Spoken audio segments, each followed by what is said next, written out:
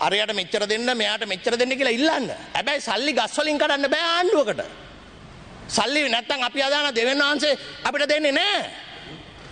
අපි වහන්සියලා දෙවියන් වහන්සේ විශ්වාස කර ඒක ඒක වෙනම කතාවක් ආණ්ඩුවකට දෙන්නේ නැහනේ.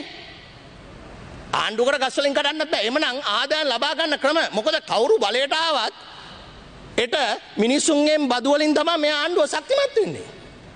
මේ රටේ තියෙන සම්පත් වලින් තමයි ආණ්ඩුව ශක්තිමත් වෙන්නේ. මේ රටේ සම්පත් වලින් ආයෝජනය සඳහා දෙන්න බැරි නම් මේ රටේ ජනතාවගෙන් බදු ගන්න බැරි නම් ආණ්ඩුවකට සල්ලි කෝ? රටකට සල්ලි කෝ? ඒ නිසා අපි මේ සත්‍ය තේරුම් ගන්න ඕනේ. අපි යාට මෙයාට ඇඟිලි දික් කරගෙන වැඩක් නැහැ. ඒ නිසා මම විශේෂයෙන් අවසාන වශයෙන් කියන්න ඕනේ මේ සභාවේ. දැන් අපි සබා ධර්මයේ පාඩමක් තියෙනවා අපිට කියලා දීලා. ගස ගොඩක් වෙලාට ශක්තිමත් වෙනවා වැල් එකතු වුණාම. හැබැයි ඒ වැල් සියල්ලක් නෙමේ සමහර වැල් එකතු වුණාම ගස ශක්තිමත් වෙන්නේ ගස නැති වෙලා යනවා. ඒ නිසා මම මේ සභාවෙන් ඉල්ලන්නේ සමහර වැල් එතනවා ගස වටේ එල්ලෙන්න එල්ලන්න බලාගෙන ඉන්නවා.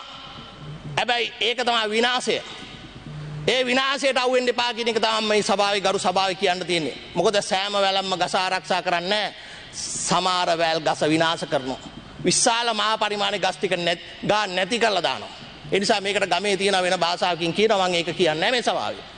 ඒ නිසා මම මේ සභාවේ කියන්නේ මට පෞගේ ටිකේ නින්දාපාස කරපු දේශපාලඥයෝ වෙන සමාජයේ කිසි කෙනෙක් මට කළේ නැහැ.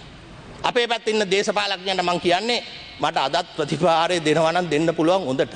මම ඒ තත්ත්වයට යන්නේ මම ඒ තත්ත්වයට යන්නේ නැහැ. මම මට මගේ ජනතාව කිව්වේ ඒ තත්ත්වයට යන්න එපා කියන එක. රටේ විශාල ප්‍රශ්නයක් තියෙන නිසා.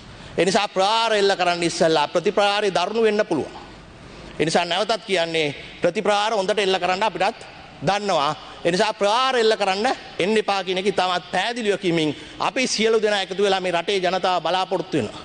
මේ ආර්ථිකය කොට මොය වෙන මොනවා කතා කළත් වැඩ නැහැ. ජාතිකත්වයේ කතා කළත්, සભ્યත්වයේ කතා කළත්, සංස්කෘතිය කතා කළත් මේ ඔක්කොම රඳා පවතින ආර්ථිකයේ උඩ. ආර්ථිකය නැත්තම් මිනිස්සු හොරකම් කරන්න පුරුදු වෙනවා.